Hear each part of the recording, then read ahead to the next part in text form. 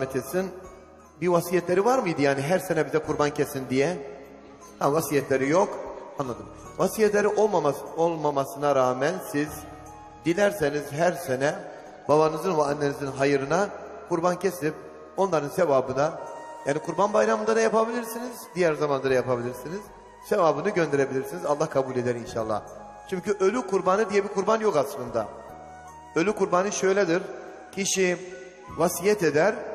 Der ki ömrünüzün sonuna kadar bıraktım şu parada bir de para bırakır. Yani onu karşılayacak para bırakır. Her sene bu paradan ödeyin der ödenilir. Ödenilebilir. Ama böyle bir şey yok. Babanız veya annenizi kesmek zorunda değilsiniz vasiyetleri yoksa. Fakat sevap olsun diye Allah rızası olsun Allah'a yakınlaşmak niyetiyle babam anam orada feda rahat etsinler niyetiyle eğer kurbanı gönderirseniz o kurbanda onlara inşallah ulaşacaktır. Yani Allah için verile ulaşır. Şöyle bir şey